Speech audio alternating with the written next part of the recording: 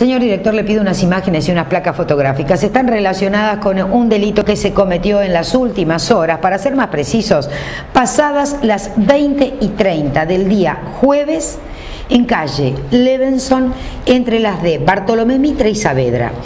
Allí, un personal de seguridad de la empresa Pronto Pago se dirigía al cajero automático del Banco de Galicia a efectuar un depósito. Según trascendidos, la cifra que iba a depositar era del orden de los 30 mil pesos.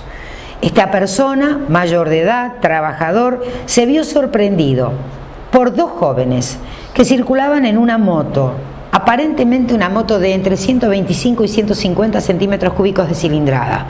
Las dos personas que iban en la moto con cascos negros colocados.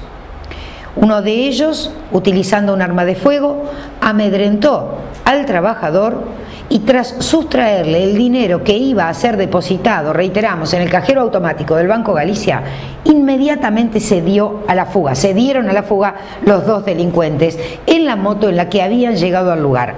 Obviamente se realizan ahora trabajos, investigación, intentando dar con la identidad de los delincuentes y recordemos como dato importante que seguramente ya debe haber sido pedido al centro de monitoreo, esa zona cuenta con cámaras de seguridad. Así que es muy posible que hayan sido detectados lo sucedido en calle Levenson por las cámaras de seguridad y habrá que ver qué es lo que ocurre también con las cámaras de seguridad que posee en este caso el Banco Galicia.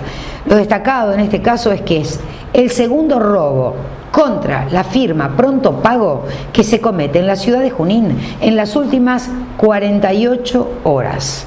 Veremos qué es lo que ocurre. Vuelta de página, señor director, ¿qué le parece si en placa vemos cuál ha sido la cotización de moneda extranjera?